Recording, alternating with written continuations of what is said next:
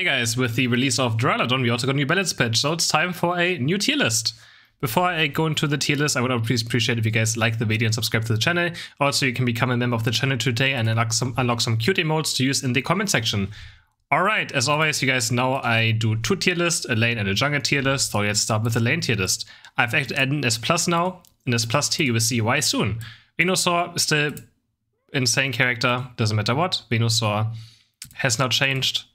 Still one of the best lane carries in the game if you want to play. Gengar, honestly, Gengar's like half of me decide. Like, honestly, nah, I mean, he's a C tier, right? Like, he's not, he's not a good laner. I think he can work sometimes just because his power spike is level 5 now. But I still don't think it's anything too special for where it makes a big difference. But honestly, I think I could slowly start more going him towards B. Because I think he's still better. Like, if he reaches level 5, he's actually quite fine in lane. But yeah, nothing really amazing. Mr. Mime actually going to drop down a tier from S to A tier. Um, just got a few nerfs on confusion. Guard Swap is quite nice now. It actually perma lasts on someone. But yeah, I don't think that makes up for how much confusion damage he lost. And in general, I feel like there's a lot of things in the game right now where he just struggles against. And yeah, I mean, honestly, I he's still quite fine. I'm always, always going to keep playing him. But yeah, Snorlax, I mean, it really doesn't seem amazing to me whatsoever right now. Like, the like the longer I feel like the game is just keeps being out, Snorlax I feel it just gets pushed out of the game. And I feel like he just doesn't do much. But like, I mean, he's still not terrible either, right? Like he's he's a good laner. I'm still still going to put him in A tier, like lower towards lower A tier, but quite strong still. Gardevoir also I think is a solid A tier laner, just because of future sight on level 5. You just have to make it to level 5, which is the hard part. But once you make it to level 5, it's quite hard to deal with Gardevoir. Can secure a lot of last hits, has very good mid and late game. And yeah, honestly, much better lane than other characters. Absol, to me, Absol is still a very solid lane character as well. Easily at least A tier.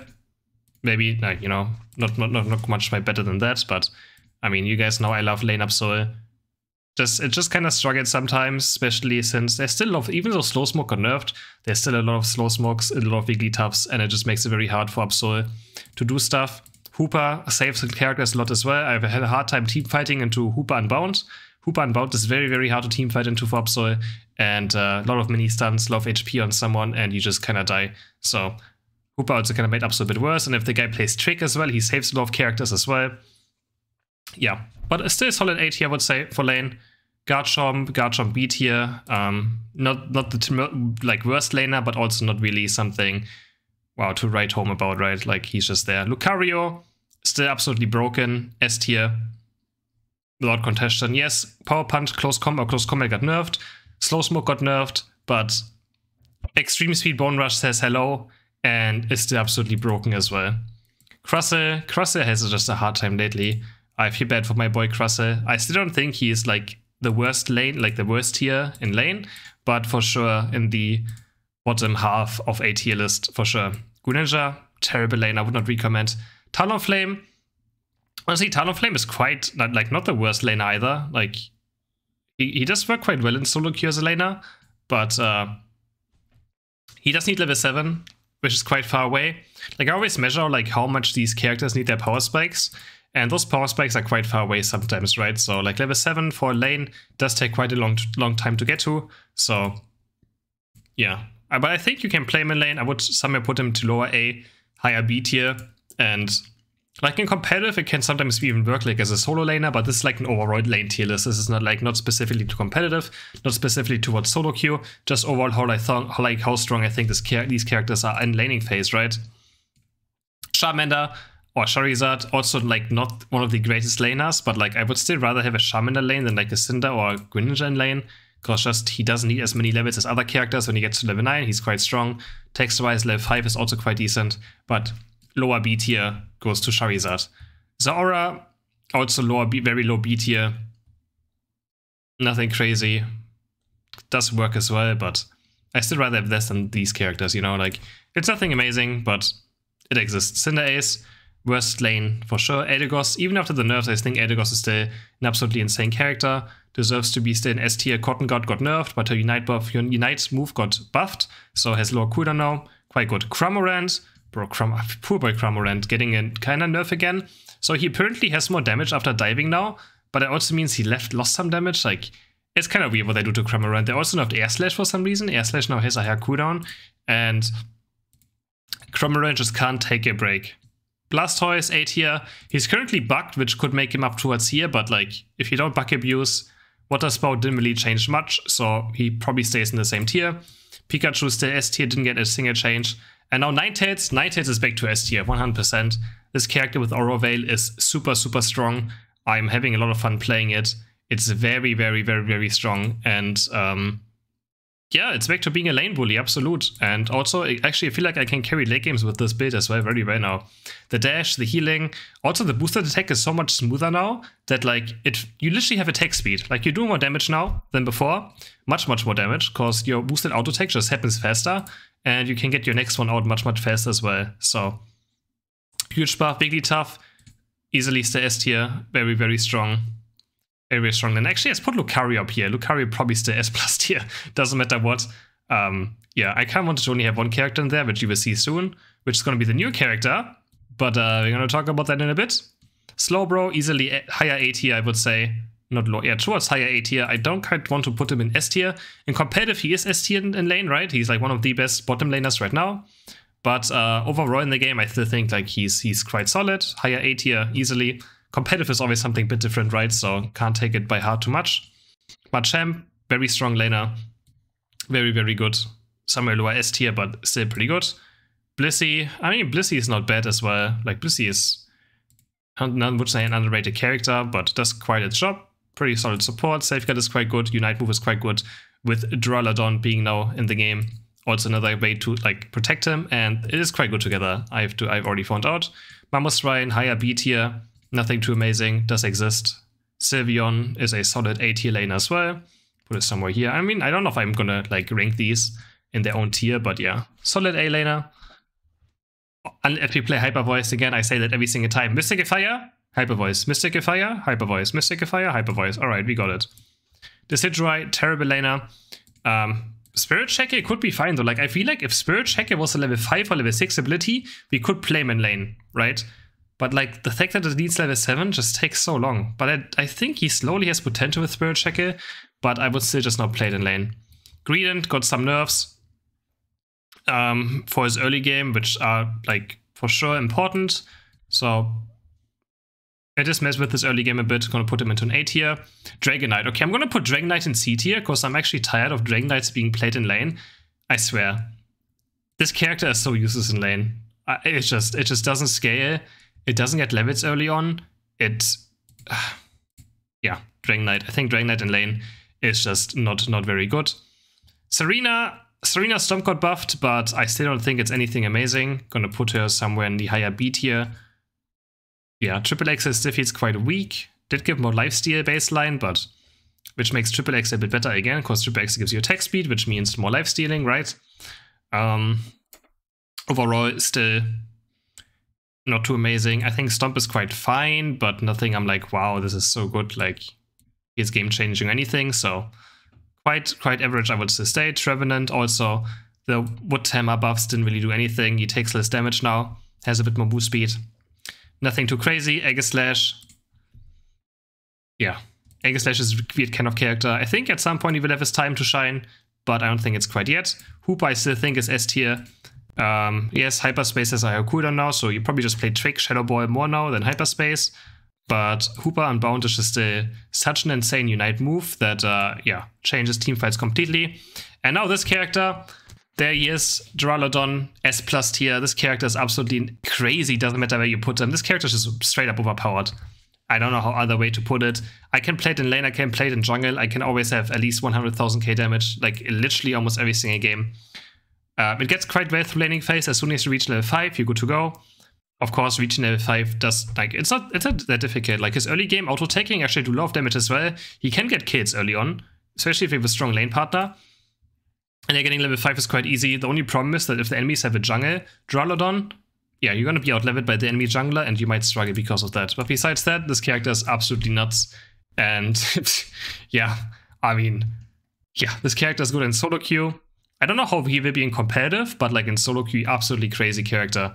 And yeah, that's for the lane tier list. Again, if you have always any questions towards why I'm rating characters where they are, feel free to just ask me about it in the comments, and there's high chance I will probably reply and give you another explanation. Right, that's it for the lane tier list. Let's head into the jungle tier list, and we're going to start off with Duraludon, I think. He might be the best new jungler in the game now, especially if you have some form of protection. When he gets a level lead, he just pumps out damage on damage, and he has also very good objective secure with Dragon Pulse yeah, this character might be honestly the new best jungler in the game. I'm not, I'm really not over, like, maybe I'm wrong, maybe I'm overhyping this character, but he just seems so unbalanced to me. I really can't put it into other words. Um, I'm also gonna have a jungle video about him up tomorrow, most likely, where we go over him in the jungle, because I only had so far lane um, games with him uploaded to my channel. So tomorrow I will make a video about how he is in jungle. And yeah, it is also very, very insane. Uh, then we have, what do we have next? Machamp.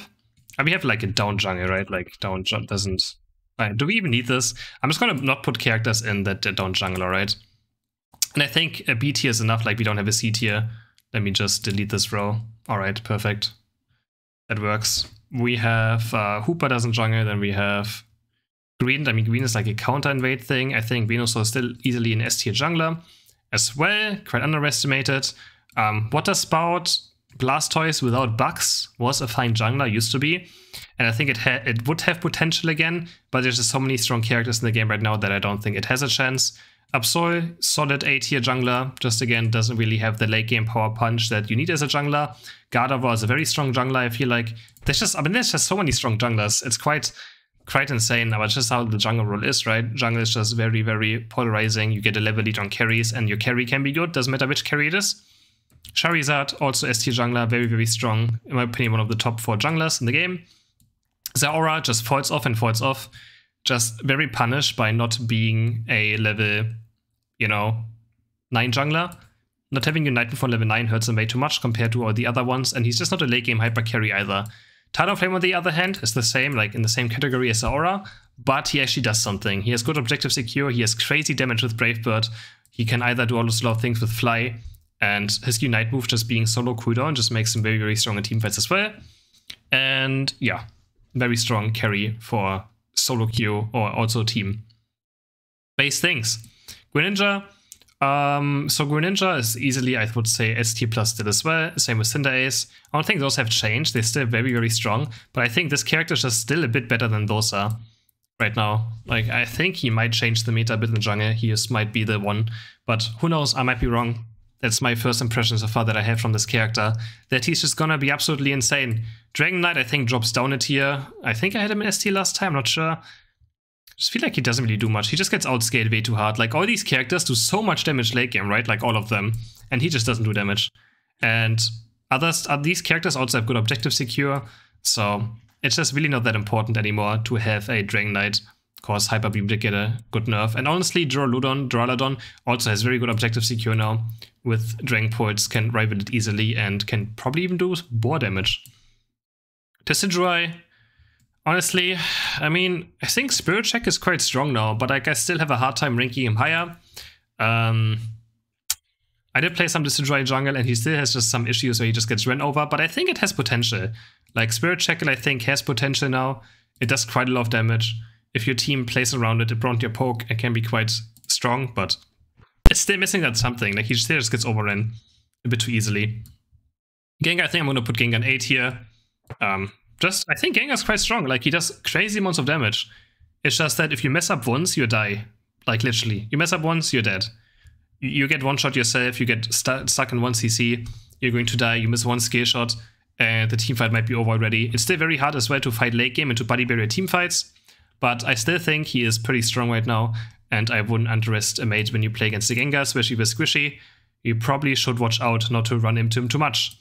Tsareena. Tsareena is in theory a good jungler because she reaches her power spikes quite easily, but yeah, you will just lose late games. If you have a Tsareena jungle, you will just lose late game. If the enemy jungler just doesn't die to you and just farms as well, you're just gonna get outscaled way too hard and you will lose late game team fights by not having a really carry. Maybe it's good if like, if you have like a lane Duraludon, you can maybe play something like Tsareena Jungle, So I think Duraludon being also a laner does open up more of these junglers to be played again, like more supportive junglers like Machamp, Blastoise, Tsareena, you know, Talon. Like, I think those characters might get a buff just because Duraludon can be in lane and can be a late game carry on its own. But if the enemies have a Duraludon jungle, I think your monsters get complete gets completely stomped at some point in team fights. Of course, you're gonna be down two or three levels most likely for the early fights. So, but yeah, I think this character might allow one of these to maybe shine and rise in priority. We shall see.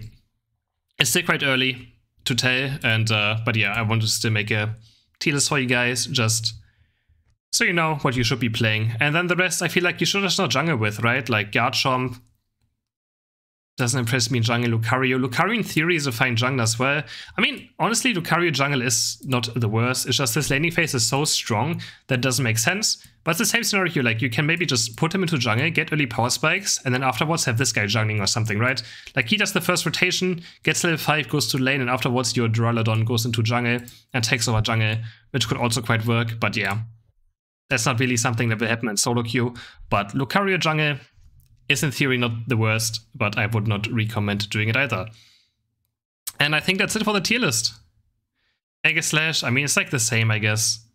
Like, these are the characters that came in theory, jungle. Mystic Fire Sylveon, but like... Like, Mystic Fire Sylveon has, a, has its place in jungle, but it just gets outscaled. Way too, way too hard. Way, way too hard. I, try, I wanted to try Ninetales jungle, honestly. Because uh, maybe Ninetales jungle has a place now, but I feel like the clear would still be a bit too bad to make it to late game. Like, it does take quite a while for Ninetales to kill, you know, PvE stuff. Doesn't really have good Drednaw secure either, so yeah. Alright guys, that's it for the tier list. I hope you enjoyed it. Thanks so much for watching. Like the video, subscribe to my channel, and I will see you in the next video. Bye!